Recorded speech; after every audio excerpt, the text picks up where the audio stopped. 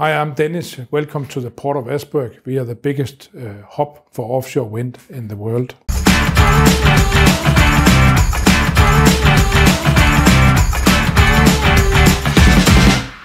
Well, welcome uh, to the Enlit on the Road. I'm delighted to have the uh, CEO of the Port of Esbjerg with us today, Dennis Jul Pedersen.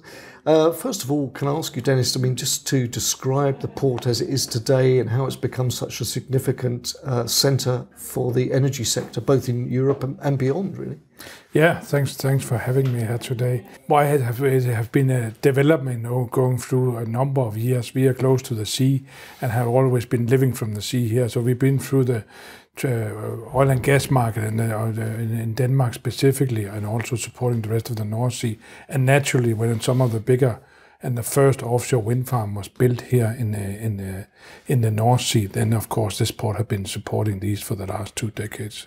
Okay, and, and um, give us some sort of key facts and figures around around the port and its size and significance. Yeah, so the port, uh, seen in a, in a Danish context, is one of the biggest ports in Denmark, but it's by far also the most complex because it's a 155 years old port, but it started with the export of Danish farm produce and food produce. Then it became one of the Northern Europe's most biggest fishing ports with over 700 fishing vessels, but it also the only port in Denmark supporting the oil and gas activities in Denmark, and also becoming a major hub in the, in the renewable, uh, especially in context to offshore wind, where half of the offshore wind parks in Europe today are being supported from here, are being built partly from here. Yeah.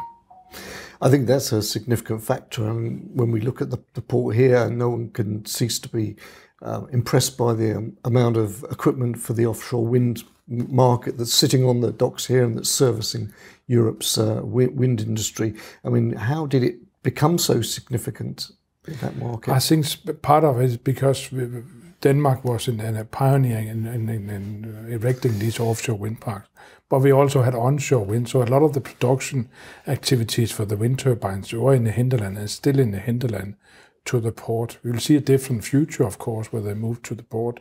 But as a port authorities, of course, challenges because from from a, as I said, it's a complex port. Seven and a half thousand people go to work here every day. Uh, Six thousand port calls. So we service all these markets, also the oil and gas. We service the wind market, and we also need to service the power to X in the future. Yeah, yeah. Now, um, I understand that one of the interesting developments recent times is that you've um, uh, built a digital twin for the port to model the port. Can you tell us about that and what you're going to gain from having that? Yeah, so that goes back to while we have to have all these different activities among the 200 companies in the port, we cannot ask somebody to go away and then because now we now want to build more wind. So we were in a lack of space, even though we have port expansion ongoing and, and so is the rest of Europe when it comes to port space in context to offshore wind. One of the things by building a digital twin is we could optimize where do we put things in the port. So earlier days we have a maximum installed one and a half gigawatt every year. By optimizing where we're going to put things, move things around in the port, we will be able to achieve four and a half gigawatt a year.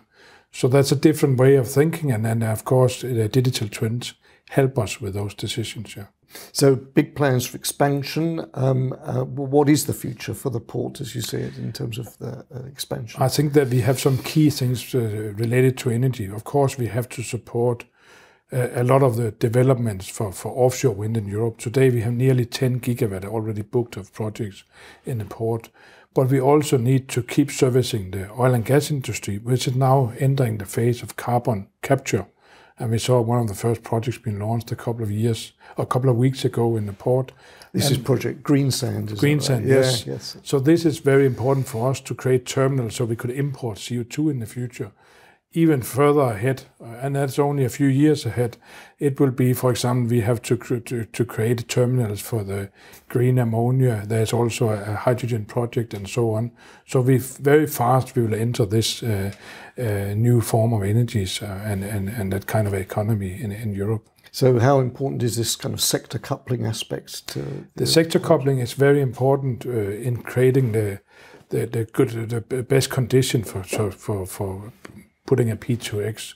So when when we had the possibility to to get away from the coal here and have the the central heating system, and they could take the excess heating from the P2X uh, plants, that given a competitive advantage, of course it does, and will be one of the first uh, in Denmark at least to have these bigger projects. We also see a lot of smaller projects, but the bigger projects where we see the economies of scale will be here because we are close to the offshore wind, the green energy, and we have the possibility to buy the excess heating using in our houses here. Yeah. You've been involved in the energy sector for quite a few years. Um, what, what's the biggest change you've seen um, here in Esbjerg over that time? The biggest change is when it comes to specifically offshore wind, it goes so fast. What do you think is going to happen a year after the, uh, uh, it's not, I mean, it's going to twice as fast as you can imagine going. And also the plans are getting there fast and we have to ramp up constantly and be ready for tomorrow. And, but of course, we still need to see the decision processes going faster,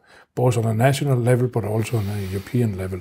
And that's the challenges, of course, yeah. Yeah, I, I, I sense that that is uh, perhaps one barrier, if, if anything, that's going to hold you back is getting the, the right policy and regulation in place. Are you optimistic that that's going to come through soon? I hope so, because you have the other industry, as we just mentioned, with the hydrogen economy going into the European Union. If we don't get this fixed for offshore wind, so we can build some more wind farms faster, then of course the other thing is not going to come either. So it, it, there is a really push towards getting things done and getting it done, done now, not only for the green transition, but also for the uh, energy security of Europe. Fantastic insights. Um, can I just ask you finally, on a sort of personal note, uh, what is it that kind of motivates you to get up each day and uh, play your part in that, the energy transition? I think it's a possibility that it might change the dynamics in, in Europe towards Denmark, of course, in this, in this, perspective. And then on a local level, it is, if we do it right, we are certainly on the right place at the right time. And we can create a difference also for, for the city here. We can be, be part of creating that transition from the traditional oil and gas jobs into the, to the new energy here. Dennis Pedersen, thanks for your time. Thanks for speaking to Enlit.